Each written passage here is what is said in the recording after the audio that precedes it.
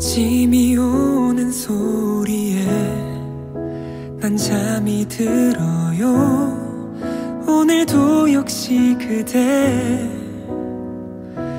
날 잊고 보냈었는지 그렇게도 쉽게 괜찮을 수 있는지. 음.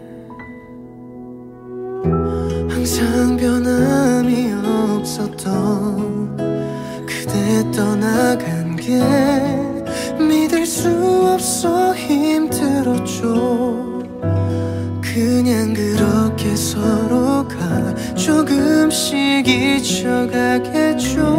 사랑한단 말조차도 소용없겠죠. 미안해요.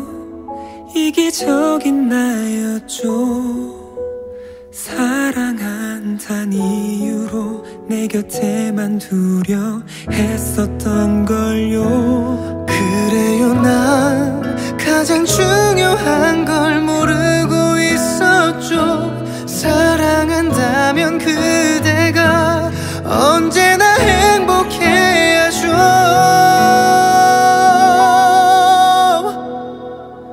보고 싶겠죠 그건 어쩔 수 없겠죠. 하지만 힘들진 않게 할게요. 한동안 많이 아파 울다 지쳐 그대를 찾겠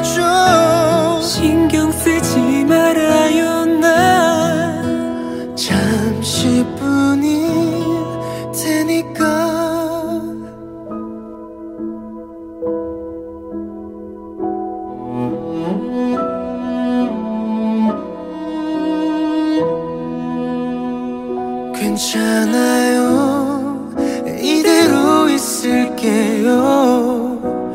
당신과 상관없이 그냥 홀로 지킬 수